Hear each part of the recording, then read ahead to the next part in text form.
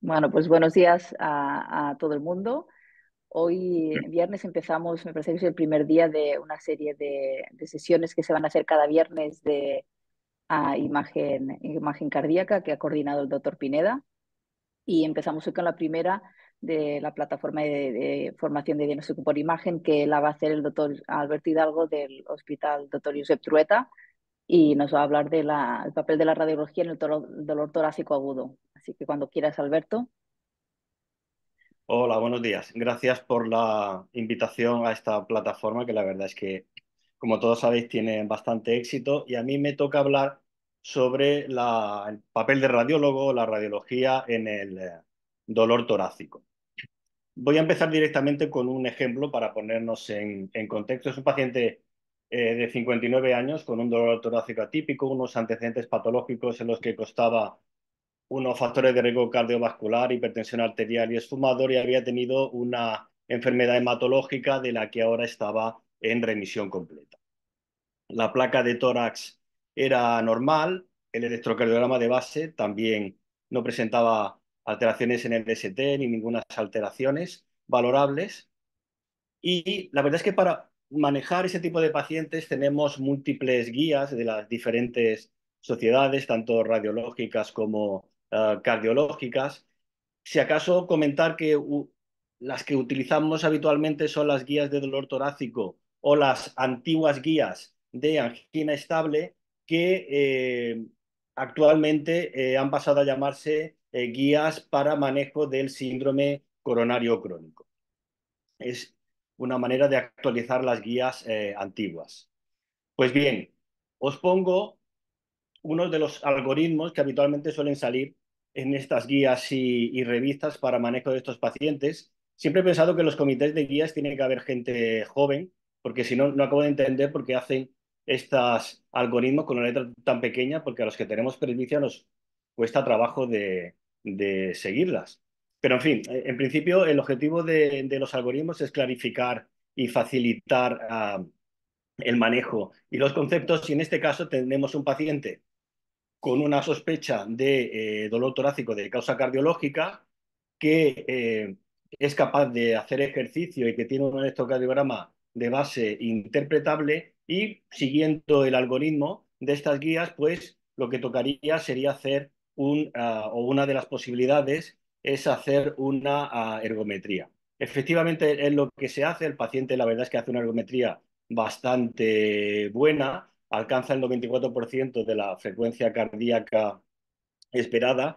Recordad que para que una uh, test de isquemia sea valorable habría que alcanzar más del 85%, o sea, en este caso realmente cumple criterios de prueba uh, efectiva, pero eh, los resultados de la prueba son interpretados por el eh, cardiólogo como prueba negativa para isquemia y que aunque refiere a un dolor torácico, en realidad lo atribuye a un origen mecánico más que a un origen cardiológico. Así que si volvemos a las guías, este paciente, como la, como la, la prueba ha resultado negativa y en el contexto en el que nos encontramos, pues lo que le tocaría, según este algoritmo, es iniciar tratamiento médico.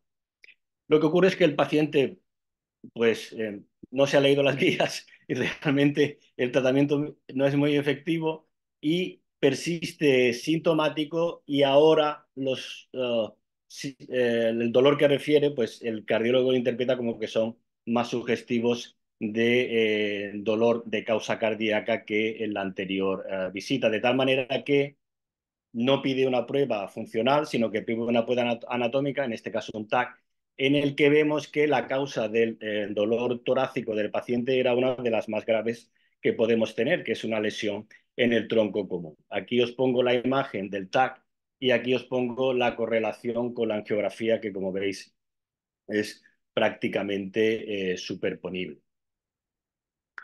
Cuando hablamos de dolor torácico eh, en urgencias o dolor torácico agudo desde el punto de vista de la imagen radiológica, uno de los problemas que hay por parte de los clínicos es que se viene a la cabeza lo del triple descarte, ¿no? Un dolor torácico, entonces tenemos que hacer una prueba para descartar síndrome coronario agudo, síndrome aórtico agudo y tromboembolismo uh, pulmonar. y da la impresión de que si no tenemos en mente estas circunstancias, pues no hay que pedir un TAC en urgencias, lo cual no es exactamente así. Primero porque que realmente eh, sospeches las tres eh, circunstancias, la verdad es que es muy raro. En las revistas ah, clínicas, pues menos de un 3, en menos de 5 o 3% de situaciones uno piensa en, estas, en las tres situaciones a la vez. Lo normal es que, piense, que pienses en alguna de ellas. Por lo tanto, yo creo que una de las labores del radiólogo es hacerle saber al clínico que puede pedir eh, el TAC no solamente cuando empiece en las tres cosas, sino cuando piense en una, en las tres o en dos o en una o en otro tipo de circunstancias. ¿Cómo se maneja el paciente que llega a, urgencias con dolor torácico? Bueno, partimos de una clínica, de un dolor eh, atípico, se hacen pruebas de electrocardiográficas y de, y de laboratorio, básicamente de un electrocardiograma para ver si hay alteraciones en el ST y eh, pruebas de laboratorio que incluyen eh, principalmente la detección de troponinas. Si estas resultan positivas, entramos en un en, un código infarto, digamos, el paciente va directamente al cateterismo y esto un poco se sale del tema que estamos tratando. Esto sigue una guía, una, una vía totalmente eh, diferente. Van directamente a CATE y siguen otro curso diferente. Pero en el caso de que esto no sea así y que no, el electrocardiograma y las troponinas no sean concluyentes, pues se hace eh, un test de isquemia, que puede ser una ergometría o que puede ser eh, otros test de isquemia, y en función de lo que salga, pues iremos también a cateterismo o nos quedaremos con que si es negativo, pues pensaremos que el, el, el dolor no es de causa cardiológica, pero desde luego no nos aseguraremos. En función de que sea eh, una prueba de isquemia u otra, pues esta, esta duda será, esta interrogación será más o menos eh, grande. Incluso, aunque el cateterismo sea negativo, nos podemos encontrar con otro tipo de causas de, dolor torácico que no sea ah, coronario o que no sea aórtico, que no sea por por ejemplo, una miocarditis, pero esto también eh, sería una vía que no entraría dentro del campo de esta charla. Y aquí probablemente lo que eh, tendría valor desde el punto de vista de la imagen sería el papel de la resonancia.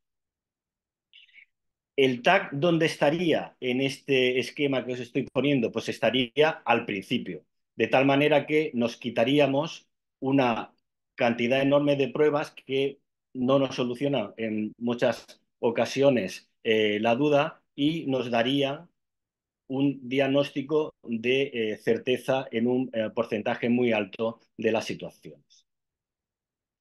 Porque realmente hay en la literatura multitud de estudios en los que cuando se compara imagen anatómica versus imagen eh, funcional, el papel de la imagen anatómica juega un papel fundamental. De hecho, debido a su gran resolución, actúa como gatekeeper, como portero, como prueba que nos va a orientar hacia qué tenemos que eh, pedir o cómo tenemos que actuar con este tipo de pacientes. De hecho, hay muchos, eh, muchas uh, trials, muchos ensayos, y en ninguno de ellos os vais a encontrar que eh, la imagen anatómica ah, sea peor que la imagen funcional para ah, evaluar este tipo de pacientes, grosso modo. Aquí os pongo, por ejemplo, el, el PROMISE, donde realmente se compara TAC con imagen funcional y realmente no es peor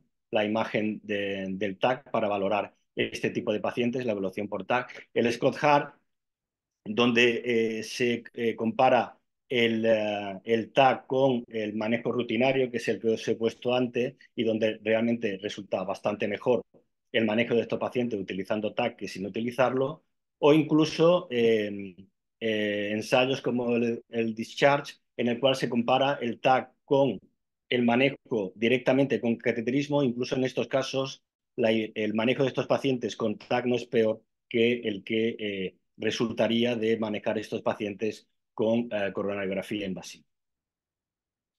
Eh, ¿Cómo hacemos el angiotac o el TAC coronario o el TAC cardíaco en urgencias? Pues bueno, en nuestro centro es una cobertura 24/7. En algunos sitios, la verdad es que todavía solamente se hace en el periodo de mañana, digamos, o cuando hay radiólogo en los servicios, pero la verdad es que la tendencia tendría que ser que esto fuese una prueba como otra cualquiera. Puede ser valorado por el residente de radiología, por el radiólogo de guardia, en función de, la experiencia que, tengan. Y tampoco nos volvamos locos. En principio, en urgencias, lo importante es determinar si el TAC es normal o patológico. Si el TAC es normal, al paciente se le da el alta. Si el TAC es patológico, pues se puede reevaluar a la mañana siguiente. Eh, lo digo esto porque, bueno, pues no en todos los servicios de radiología puede haber gente con la suficientemente experiencia para evaluar eh, este tipo de, TAC, pero desde luego lo que sí puede hacer cualquier radiólogo es determinar que los vasos, eh, las arterias coronarias son normales. En cuanto a cómo hacerlo, pues va a depender un poco de, lo que nos pidan. Eh, en principio, el protocolo es relativamente el mismo y lo único que cambiará será eh, la cobertura o la manera de inyectar eh, el contraste. Cuando nos pidan evaluar síndrome coronario agudo, pues vamos a cubrir solamente el corazón. Cuando nos pidan valorar síndrome coronario o síndrome aórtico, vamos a coger todo el tórax o incluso tórax abdominal. Y eh, lo que eh, queremos, eh, cuando queramos evaluar además a TEP, aquí os pongo las imágenes donde se ve que realmente con los protocolos actuales uno puede evaluar tanto lo que es la aorta como lo que es las coronarias, como lo que es el árbol pulmonar, pues cuando queramos evaluar un TEP, eh, yo tampoco complicaría mucho el, protocolo y lo que haremos será aumentar la cantidad de contraste y no añadir el suero que habitualmente sabéis que se pone cuando se quiera hacer un estudio de eh, coronarias normales para arrastrar el contraste que se introduce inicialmente. Os pongo un ejemplo de eh, valoración de triple descarte. Esto era una señora de 84 años con un dolor torácico atípico que incluso hace una muerte súbita que se recupera en urgencias. Tenía una mala ventana ecográfica y no se podía evaluar mediante ecocardiografía y en el estudio que se hizo se ve, eh, como veis aquí, que la paciente tenía un hematoma intramural. Descartamos el TEP con la exploración, descartamos también que tuviera enfermedad arterial coronaria y en realidad el hematoma había sido secundario a la presencia de esta úlcera penetrante aórtica y además como hacemos una cobertura toraco-abdominal, podemos ver también que había un trastorno de perfusión en parte de las asas intestinales y la paciente además tenía una isquemia probablemente en este caso relacionada con un eh, bajo gasto. Pero no solamente podemos hacer el triple descarte, que ya os digo que no suele ser lo habitual, probablemente lo habitual o lo más frecuente sea que nos pidan valorar si el paciente tiene un síndrome aórtico agudo o tiene un síndrome coronario agudo.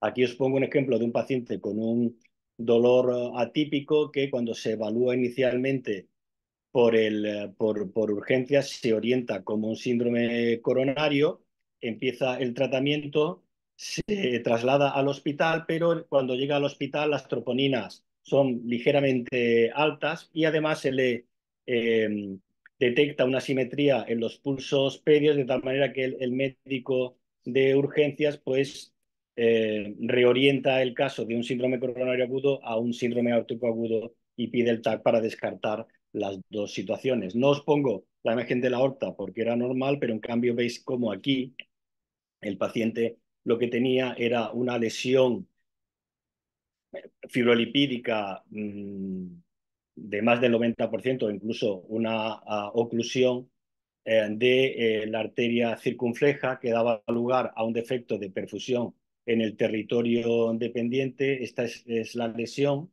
que incluso eh, si hacemos una adquisición funcional podemos ver el segmentarismo que produce, veis que aquí esta parte del eh, miocardio no contrae como consecuencia del de, eh, infarto eh, de la necrosis producida o del trastorno de perfusión producido por la, por la lesión.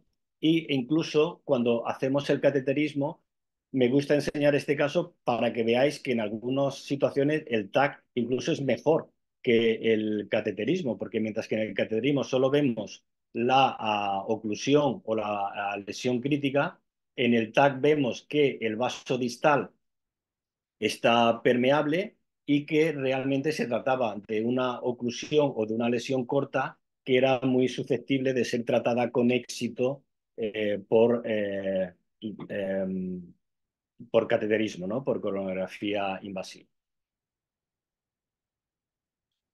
Os pongo también un caso donde lo que nos piden es directamente la evaluación de síndrome coronario Un paciente con factores de riesgo cardiovascular relativamente pocos, relativamente escasos, con una ergometría uh, positiva pero alta carga, de tal manera que el cardiólogo no se quedaba del todo conforme.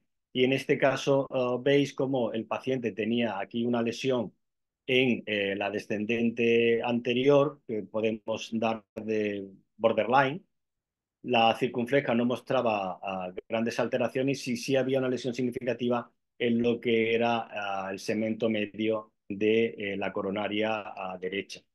Cuando le hacemos el cateterismo, confirmamos un poco los hallazgos, confirmamos los hallazgos de eh, TAC y eh, os pongo aquí la correlación de la coronaria derecha con el cateterismo, en el cual vemos una lesión en el segmento medio de la coronaria y después del tratamiento, pues cómo queda un buen resultado anatómico.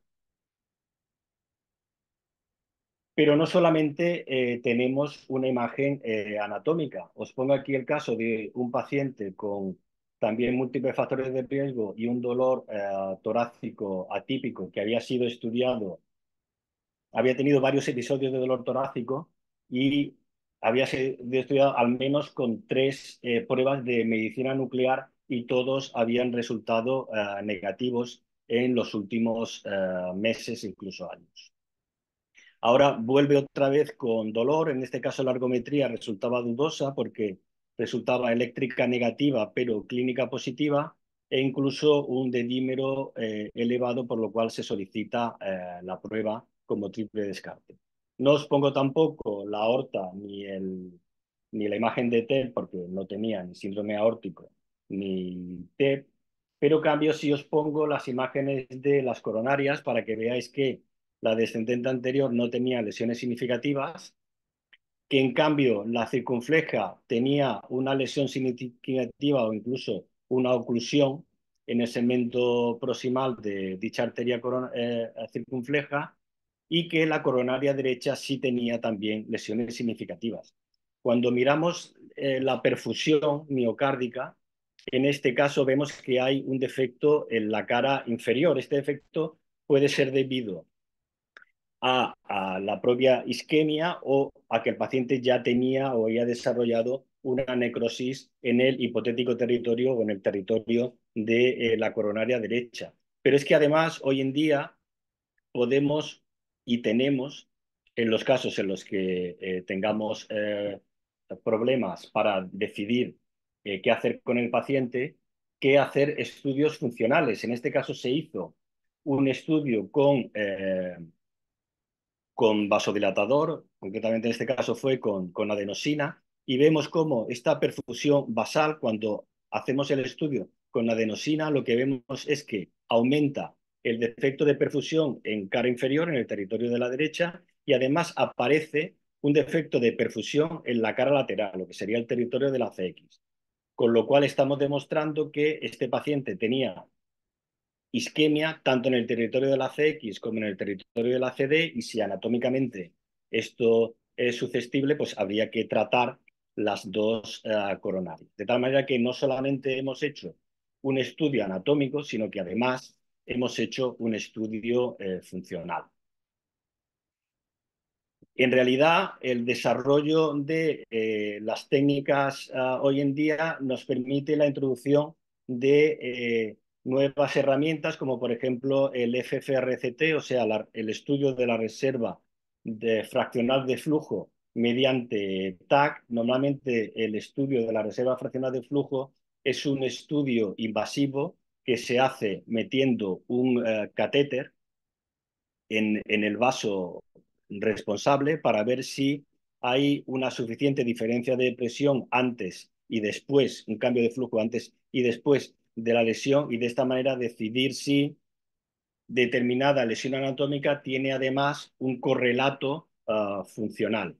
Porque, eh, como sabéis, no siempre que haya una lesión anatómicamente significativa significa que desde el punto de vista funcional esa lesión sea, uh, sea significativa y al revés. A lo mejor hay lesiones que anatómicamente podemos eh, decir que no son significativas, pero en cambio, bien porque tenga lesiones en tándem, en tándem, o sea, varias lesiones, o bien porque sea una lesión moderada que a lo mejor anatómicamente no nos llama la atención, pero en cambio, cuando le hacemos la reserva fraccional de flujo mediante cateterismo, pues vemos que hemodinámicamente esa lesión es significativa. Pues bien, hoy en día la técnica nos permite hacer este tipo de eh, evaluación con la información que podemos obtener del TAC. Esto se hace mediante análisis computacional de dinámica de flujos. Son técnicas relativamente complejas y que, no todos los centros lo, disponen, pero la verdad es que diferentes casas comerciales, eh, Siemens, eh, Canon, pues la verdad es que están desarrollando ya este tipo de técnicas. Y ya se han establecido una serie de valores de corte de tal manera que en función de, normalmente suele estar de 0,7, 0,8, en función si está por encima de estos valores, pues eh, de, decimos que la lesión es, desde el punto de vista funcional, significativo. No solamente hacemos una valoración anatómica, sino también una valoración funcional. Es decir, podemos hacer valoraciones funcionales por TAC mediante estas técnicas de eh, FFR, CT o con técnicas de estrés como las que os he enseñado en el ejemplo eh, anterior. De tal manera que si volvéis a las guías, la tendencia que hay general es que cuando tengamos una uh, probabilidad de que el paciente tenga eh, enfermedad coronaria baja o intermedia, se tienda a hacer eh, técnicas anatómicas como por ejemplo el TAC. En cambio, cuando la probabilidad es alta, pues se tienda más a hacer eh, test de isquemia o incluso ir directamente al cateterismo. Sin embargo, lo que tenemos que promover y eh, publicitar es que realmente con el TAC hoy en día no solamente podemos hacer estudios anatómicos, sino que también podemos hacer estudios funcionales. De tal manera que eh, en este sentido, pues probablemente de las diferentes técnicas disponibles, pues sea la más, uh, la más completa, al menos desde el punto de vista potencial. Me refiero que una ergometría es una prueba funcional, una eco de estrés es una prueba funcional, medicina nuclear es una prueba funcional, la resonancia tiene múltiples capacidades, pero no te dice cómo están las coronarias, sino que vemos un poco la repercusión que produce la enfermedad coronaria en el miocardio, pero en cambio con TAC tenemos tanto la información anatómica como la eh, información funcional. De tal manera que del eh, algoritmo aquel eh, un poco farragoso que tenemos al principio, yo creo que podemos pasar a otro mucho más sencillo si empezamos con un estudio anatómico. Y en función de cómo resulte el estudio anatómico, si el estudio anatómico es normal, el paciente se puede ir de alta desde urgencias. Y esto es muy importante porque recordar que en urgencias es tan importante lo que el enfermo tiene como lo que el enfermo no tiene. De tal forma que un estudio negativo en urgencias tiene un valor fundamental y esto probablemente la única técnica que lo hace es el TAC. Si a un paciente le haces una, una, prueba de, isquemia, una, eco, otro tipo de, de, valoración, tú realmente no sabes, no puedes descartar. La, la única técnica que realmente descarta que el paciente no tiene un dolor torácico de origen eh, coronario es el TAC. Fijaros que incluso un TAC negativo significa que es completamente negativo. Quiero decir que un cateterismo negativo te dice que el luminograma no es patológico o no es significativo, pero por ejemplo el, el cateterismo no te evalúa la pared. En cambio, con el TAC puedes decir que a lo mejor no tiene eh, una lesión eh, coronaria significativa, pero a lo mejor pues que si tiene una placa que realmente puede implicar un riesgo para el paciente.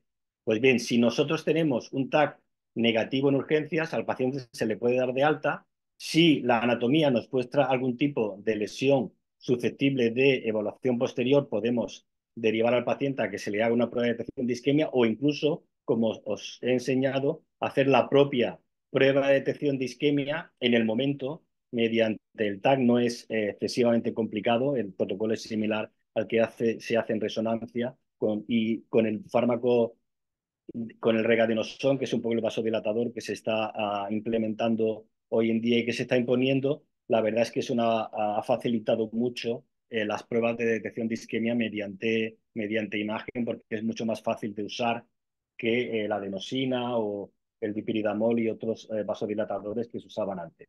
Y sí es verdad que también, en función de que el paciente tenga o no una lesión anatómica pues claramente significativa y que sea tratable, pues podemos derivar al paciente a, cateterismo. De tal manera que el estudio anatómico por TAC en urgencia nos permite eh, hacer eh, o decidir de manera bastante eh, eficaz y rápida lo que hay que hacer, el siguiente paso a dar con, con dicho paciente.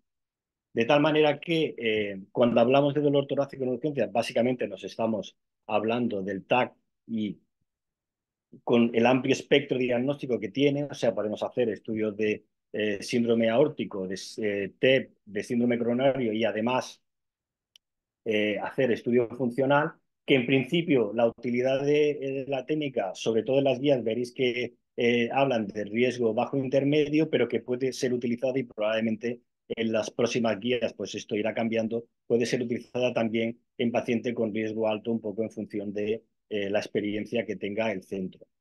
Y esperemos que con el con las próximas técnicas, bueno, el, tag de estrés de hecho es una cosa que se puede eh, realizar hoy en día, pero sí es verdad que todavía las nuevas tecnologías del tipo de la reserva fraccional de flujo mediante TAC, pues no están totalmente o ampliamente implantadas y cuando se vayan implantando, pues probablemente esta nueva tecnología nos permita aumentar la ah, capacidad ah, diagnóstica y por lo tanto mejorar eh, el diagnóstico y el manejo de este tipo de pacientes. Y bueno, un poco esto era, como hemos un, un poco antes, también he terminado un poco antes, pero bueno, mejor, porque así pasamos a las preguntas que probablemente sean más, más interesantes. Pues sí, Alberto, muchas gracias. La verdad es que muy bien de tiempo, así no tenemos un poquito, unos minutos de, de discusión. Muchas gracias por, por la presentación ¿Hay alguna pregunta en la audiencia que te ah, que pasó a, a, leerte? A ver, preguntan si ah, crees que, qué opinas ¿no? del informe estructurado sobre y el CAT-RATS, ¿no? Si crees que es necesario que utilizarlo de forma habitual. Bueno, yo, lo uso. Mm, la verdad es que yo y lo uso y lo recomendaría. Yo creo que porque un poco eh, unifica la terminología y eh, la verdad es que a los, al clínico le resulta probablemente más fácil de comprender. ¿no? Yo creo que además el CARRAT ha evolucionado también con el tiempo y ahora puedes incluir información ya no solamente del tipo de placa o de la extensión de, de, la afectación coronaria, sino incluso también si haces una técnica de estrés, pues puedes incluso eh, decir si el paciente tiene o no isquemia. Y mm, yo la verdad es que eh, es realmente fácil de aprender y, yo la verdad es que lo recomiendo, el Carra. Yo, yo lo uso. Perfecto, muchas gracias. Y preguntan también desde el punto de vista técnico-logístico que si los estudios que hacen fuera de horario ah, de, de 8 a 3, digamos, del horario habitual, si ah, se, hace también con beta bloqueante y, nitro, como siempre. A ver, eh, es que no es complicado, no es complicado de, usar. O sea, eh, la verdad es que con las máquinas nuevas, incluso los beta bloqueantes te los podrías evitar, aunque yo realmente siempre los uso cuando la frecuencia cardíaca está por encima de 80 latidos uh, por minuto. El, y, y, por lo que respecta a la nitro, hombre, yo la nitro sí la daría siempre. Y bueno, pues a ver, eh, en el mundo real tampoco nos volvamos locos. O sea, normalmente un tag de estos a las 3 de la mañana no, te lo, no, no, no, no, tiene indicación. O sea, un, un paciente con un dolor torácico lo suficientemente complicado normalmente irá por código infarto. O sea, e, estos tags pues se pueden hacer en el horario de normal. Si hay que hacerlo fuera del horario, pues el protocolo hay que hacer el que se hace siempre. Lo digo porque si no, luego puedes tener problemas de interpretación. Y un poco lo que os decía antes. Eh, a ver, yo ya puedo entender que no siempre va a haber de guardia pues un radiólogo cardiotorácico, pero vamos, cualquier compañero puede ver si una, las vasos son normales o patológicos, que es un poco lo que, no, lo que nos piden. O sea, un neuroradiólogo que interpreta el polígono de Willy, que son más vasos y más pequeños, puede decidir perfectamente si unas coronarias son, son normales con un mínimo de entrenamiento. Por lo tanto, yo, fuera del horario habitual, pues haría el protocolo normal, decidiría si es normal o patológico y ya al día siguiente, pues el radiólogo cardiotorácico, pues si acaso pues puede afinar un poco más. Pero esto ya os digo es que en el día a día no es un gran problema. Sí, es un poco perderle el miedo, ¿no? En general, que sí, sí, totalmente. Sí, que es verdad que el código hitos lo hacemos todos los que hacemos claro. guardias sin problema y en cambio, ¿no? Parece que esto es como hablar no, no. del corazón, es un poco... Totalmente. Poco palabras, sí, sí, sí. Yo creo que, bueno, poco a poco, sí. Perdona. Um, sí, que yo, sí. Perdona, yo en este sentido... Adelante, que... adelante, Carlos. Vale, ¿qué tal? Perdona, bueno, buenos días a la audiencia. Yo en este sentido quería preguntarle a Alberto una cosa, o más que preguntarle, decirle algo. Y es para todas estas personas que nos están oyendo hoy, que están, que le acaban de poner un equipo, que pueden hacer cardio, que están empezando a hacer sus pinitos en, en la cardio, y no solo aquí en España, sino también en muchos países latinoamericanos que vemos que hay gente conectada, ¿no? ¿Tú qué le dirías, qué tres razones le dirías para que digan, haz un TAC de coronario de urgencias, no tengan miedo? ¿Por qué? Y, y un poco cómo. Así de manera, para convencer. Sí. A ver, bueno, un poco como os decía en, en, la, en la charla, es que una de las ventajas que tiene el TAC es que descarta situaciones. O sea, el dolor torácico tiene muchas causas, son complicadas y la única técnica que te puede decir, a ver, el dolor torácico de este paciente no es preocupante y ya lo estudiaremos, probablemente sea el TAC, cualquier otro tipo de técnica, las técnicas funcionales, porque ya os digo que os pongo un poco aparte lo que es el paciente que va por código de infarto. El código de infarto es otra cosa. Pero el paciente que no va por código de infarto, la técnica que te va a decir si realmente ese dolor torácico es preocupante o no, va a ser el TAC. Y el TAC, hoy en día, con los equipos que hay, la mayor parte de los uh, centros pues ya están empezando a tener TAC de más de 64 coronas, pues tampoco es algo complicado. Porque con TAC, a lo mejor con 64, pues sí tenías a lo mejor que apurar todo el tema del metabloqueante y de la frecuencia cardíaca, pero ya os digo, yo concretamente el tema de, de la medicación, que es una cosa a la que también no tenemos que eh, perderle el, el, miedo, o sea, probablemente vamos a tener más problemas por reacción al contraste y no nos, y no nos preocupa, vamos, no nos alarma que por problemas derivados de este tipo de medicación que usemos por, con, con, el TAC, pues no es una cosa complicada. O sea, yo, motivos para usar el TAC, que es una técnica no más compleja que otras técnicas, y segundo, que es una técnica muy resolutiva. Probablemente sea la más resolutiva que tengamos para evaluar este tipo de pacientes. Ha salido otra pregunta no sé, de, la, si de la audiencia. Hmm. No, que decía Carlos, que no sé si tú añadir, añadirías alguna cosa más para que la gente se animase. Yo básicamente creo que es perderle miedo y un poco ser conscientes de que, a ver, estas pruebas hay que hacerlas porque si no las hacemos nosotros, las harán otros. ¿eh? Esto que lo tengamos también claro. A ver, Alberto, yo lo que está claro es que el TAC es la técnica más resolutiva que hay para el dolor torácico atípico, no, infarto, y entonces que es una técnica que hay que hacerla eh, para descartar una cantidad de enfermedad coronaria, eh, enfermedad aórtica, etcétera. Y sobre todo, y sobre todo, para decirle a un paciente que tiene unas arterias coronarias normales en un paciente con dolor torácico. Entonces, es una técnica que lo que es la urgencia, como lo que lo hablábamos al principio ¿no? de, esta charla, la urgencia de hacerlo por la noche, eso no existe, eso no es real. Eso, quien te lo está pidiendo es que no lo está pidiendo bien, ¿no? La urgencia es un paciente que viene con dolor torácico y antes de meterlo en un algoritmo diagnóstico, tú estés tranquilo de decir si este paciente tiene algo serio o no. Entonces, para eso esta técnica es fundamental y para eso muchas veces el paciente donde está es en urgencias. No lo tienes en la consulta del cardiólogo ni lo tienes en otro, en otro sitio. Entonces, por eso hay que hacer un TAC de coronaria y hay que hacerlo relativamente urgente. No te digo urgente de ya, te digo urgente de hacerlo en, la, mañana 12, 24 horas y entonces cuando tú ya tienes la primera visión de qué es lo que tiene un paciente con dolor torácico. Y esa es la clave del TAC.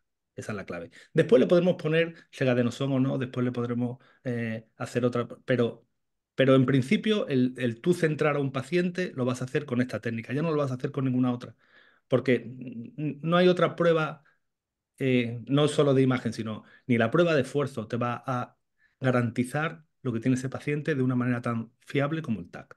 Entonces, a la gente que está empezando, eh, no, que no esperen solo a lo que le esté pidiendo el cardiólogo desde su consulta, sino que este tipo de pacientes no se los puede eh, dejar pasar. O sea, estos pacientes hay que verlos y hay que verlos con esa celeridad del dolor torácico agudo. Entonces, yo creo que es algo que hay que perderle el miedo y hay que hacerlo.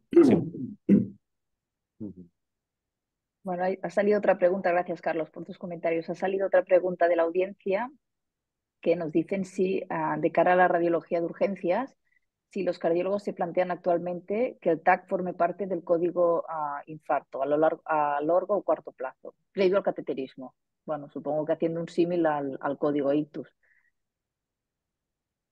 Bueno, pero eh, a ver, hoy en, bueno, hoy en día aparte yo creo que que no, o sea, o sea el, el, el papel, el, código infarto va por otro lado. O sea, un paciente que tiene una alteración del ST y unas troponinas alta, este paciente tiene que, ir a CATE. No podemos perder el tiempo, entre comillas, eh, haciendo un, un TAC. En este paciente lo importante es revascularizarlo pronto.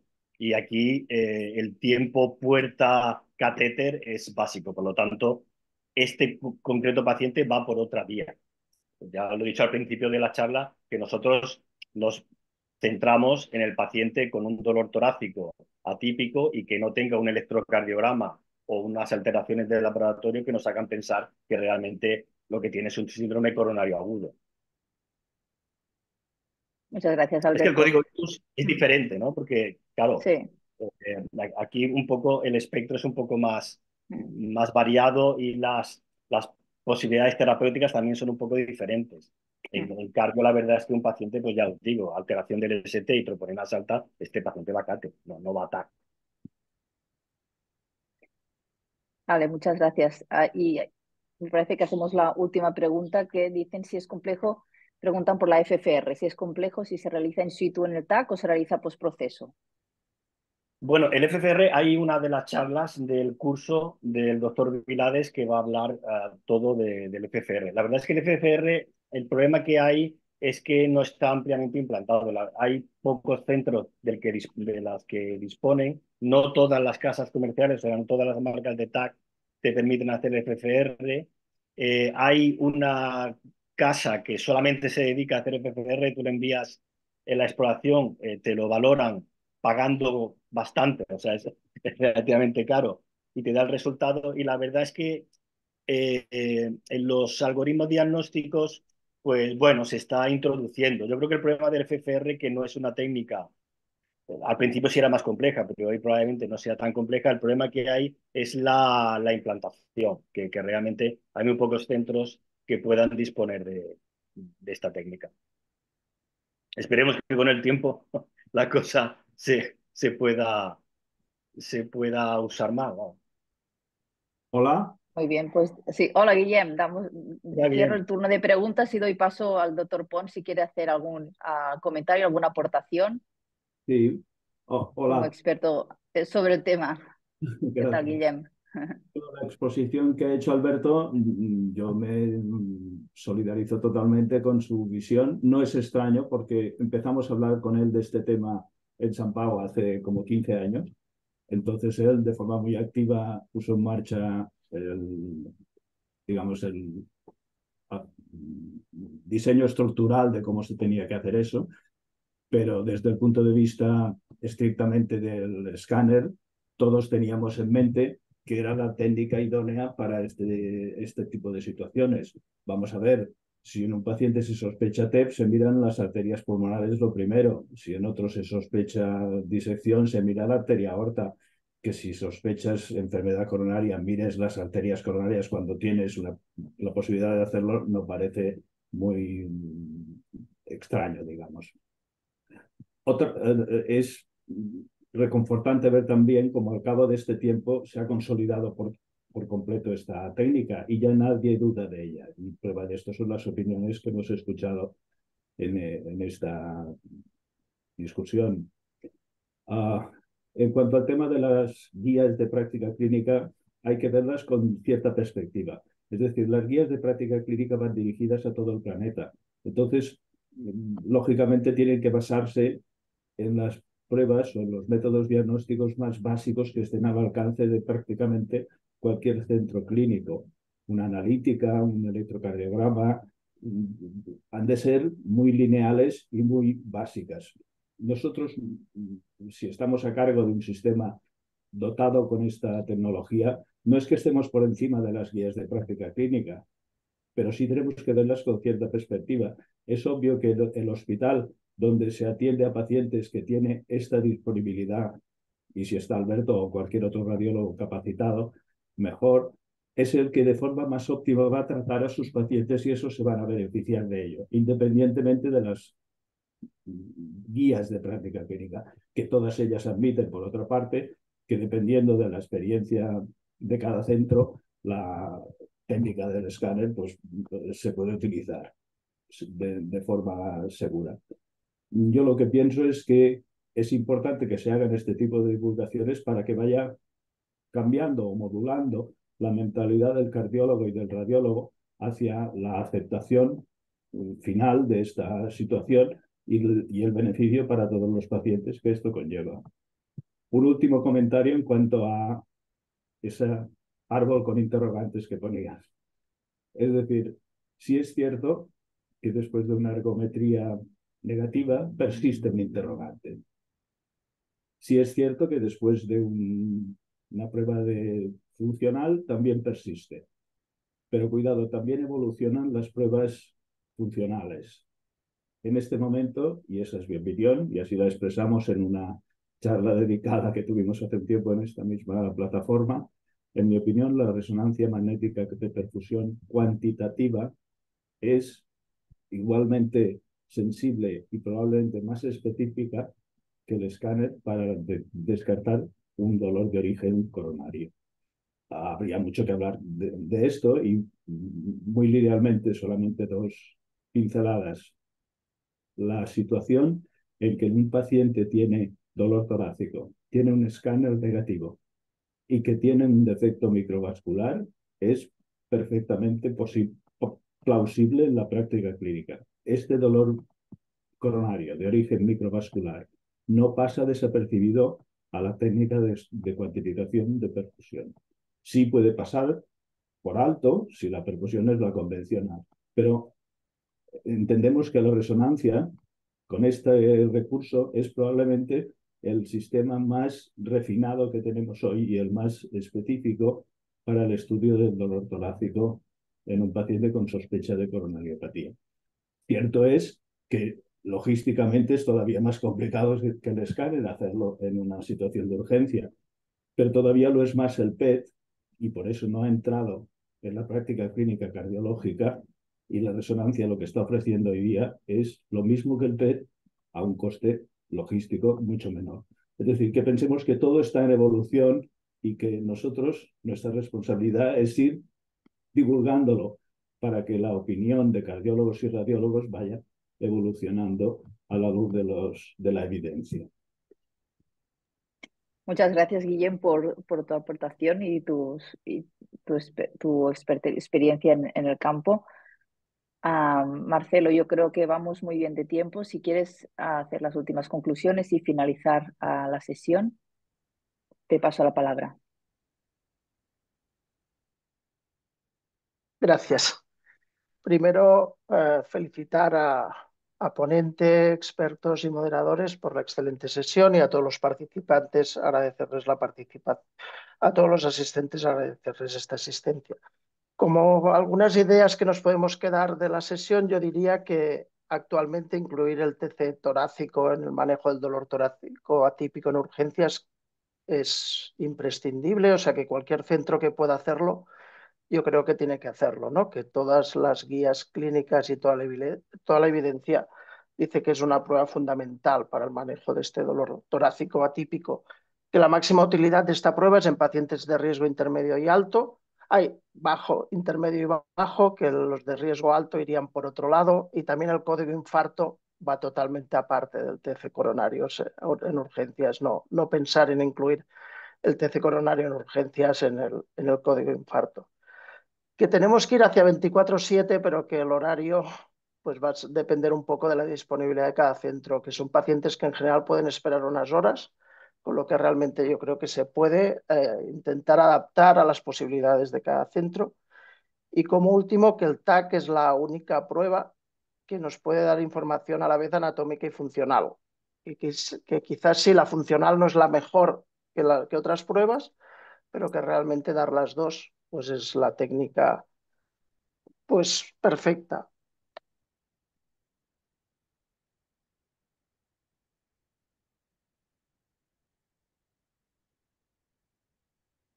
Marcelo, se te ha apagado el audio.